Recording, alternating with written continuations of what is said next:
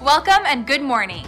Thank you for joining us for our Monday's Financial Daily Report, brought to you by iTrader.com. US stocks tumbled on Friday, weighed down by rising Treasury yields after data showed job growth slowed in September.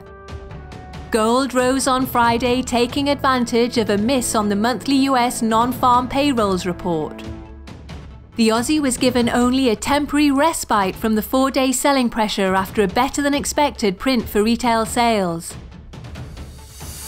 The dollar yen pair has seen some downward movement, falling 0.7% in the last two sessions. The SSI is showing a 1.5 seller buyer ratio.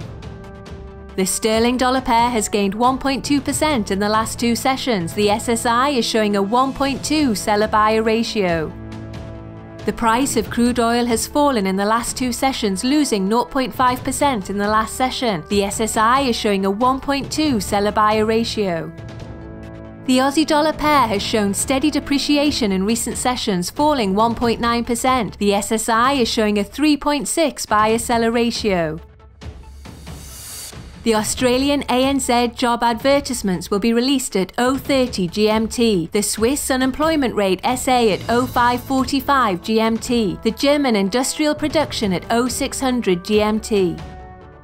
The Eurozone Sentix investor confidence at 0830 GMT, the UK BRC like-for-like retail sales at 2301 GMT, and the Japanese trade balance at 2350 GMT. Thank you for joining us for Monday's Market Outlook. On behalf of all of us here at iTrader, we wish you a productive trading day. Be sure to log into iTrader.com for all of your trading needs. Your personal account manager is ready to answer all of your questions.